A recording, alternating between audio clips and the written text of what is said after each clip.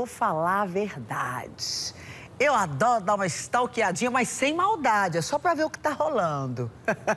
Tô cometendo um crime?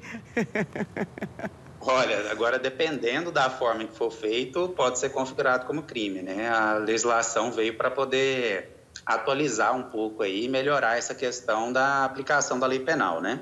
Deixa eu te fazer uma pergunta. Para mim, stalkear, eu vou te falar o que eu penso sobre stalkear.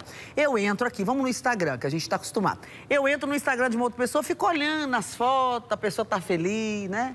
Tá lá, a vida tá boa, tá todo mundo rico na internet, ninguém tá passando necessidade. Isso aí é stalkear ou é sem maldade? Como é que é?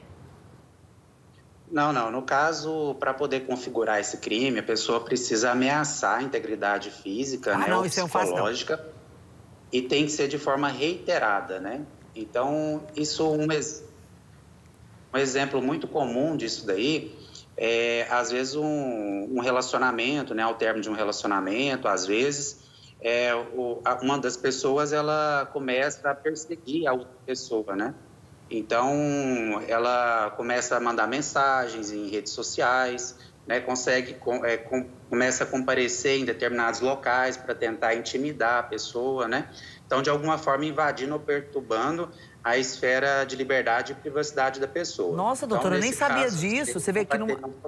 Olha, numa situação que eu achava que simplesmente stalkear, porque todo mundo fala isso, ah, tá sendo stalkeado. Quando a gente fala isso na rede social, é de uma maneira muito branda, no sentido de apenas ficar ali olhando, né, a vida das pessoas, como é que tá, sem maldade. Mas você sabe que você falou uma coisa interessante? Muitas pessoas criam fakes, doutor, e vão lá e fazem ameaças, falam mal, fazem comentários maldosos e começam a meio que uma perseguição, porque você deleta o fake, bloqueia o fake, de repente tem outro fake com a mesma conotação de ameaça e conversa. Isso tem como a gente resolver?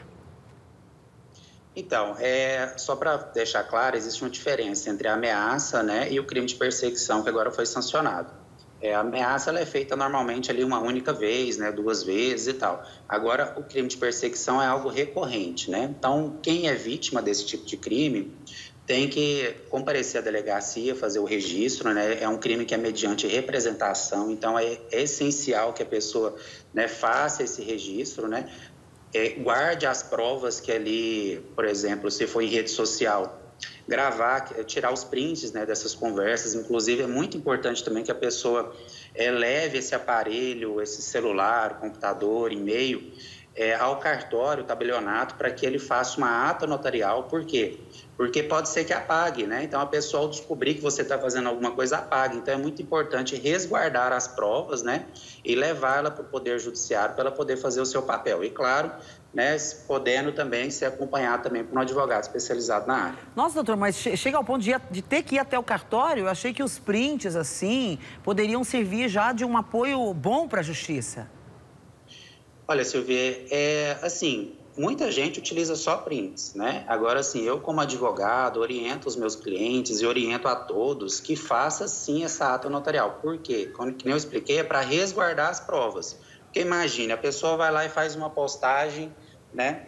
É, stalkeando aí a pessoa. O que, que vai acontecer? Aí, ao ela postar em algum lugar falando que vai fazer alguma coisa, enfim, ela descobrir algo, ela vai lá e apaga. Uhum. Né? Então, assim, aí depois como que a justiça vai confirmar se aquela mensagem estava ou não lá naquela, naquela rede social? Então, tem algo que é chamado é ônus da prova, né? Então, assim, quando você faz essa ata notarial, você, você dá uma garantia do que é, de, de que aquele fato realmente existiu.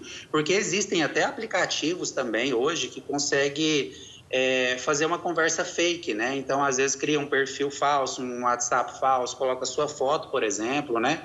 Manda mensagens e tem vários programas de edição que, que pode, é, pode ter essa questão de criação de provas, né? Então, a ata notarial é para dar uma segurança né, processual para os envolvidos. Meu amigo, eu nem imaginava que o stalkear chegava, abrangia né, tantas coisas assim, tantas demandas.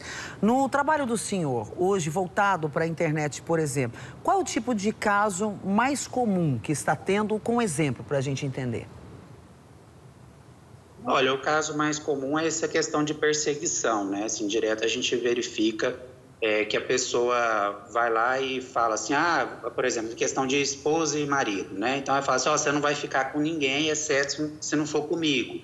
Aí a pessoa vai lá e faz uma postagem na internet e fala, não, esse cara não, alguma coisa nesse sentido. Então ele vai ali pressionando, né? E é muito importante também ressaltar, Silvia, que nessa legislação, é, ela, esse crime, normalmente assim, um crime maior, ele, ele ele engloba o menor, né? Então, nesse caso, a pessoa está perseguindo, né? Se por acaso vier a ter uma lesão corporal, uma, uma morte mesmo, esses crimes são unidos, né? Então tem a soma das penas. Então isso veio também para poder, de certa forma, até agravar a aplicação da, da lei.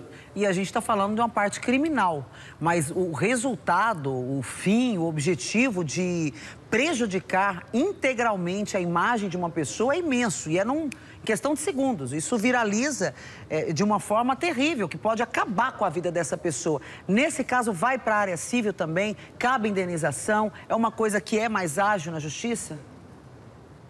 Sim, então a gente tem que é, entender que existem duas esferas, né? Não só nessa parte do, da perseguição em si, mas nós temos a esfera criminal e a esfera civil, né? Na esfera, na esfera criminal você busca ali prisão, né? Prestação de serviço comunitário, pagamento de multas e etc. Na parte civil você busca ali normalmente indenização, obrigação de fazer para retirar aquelas mensagens, o direito de resposta, né? É claro que isso é analisado caso a caso, mas a pessoa pode sim procurar tanto na esfera penal quanto na esfera civil, lembrando que tem uns prazos prescricionais, né? Então, ela tem que procurar ali a polícia ou um advogado especializado para poder instruir ela da melhor forma que ela possa fazer.